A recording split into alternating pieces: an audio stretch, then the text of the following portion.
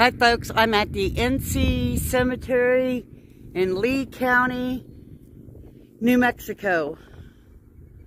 I'm doing this video for a former um, person I worked with.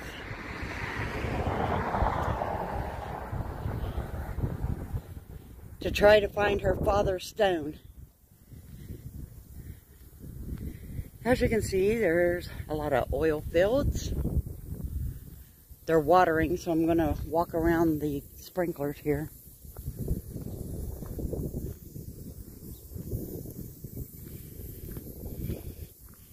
The thing is, is I don't see any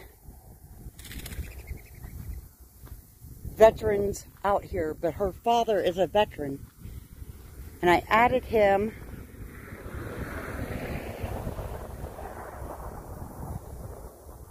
to find a grave because she said he was buried out here.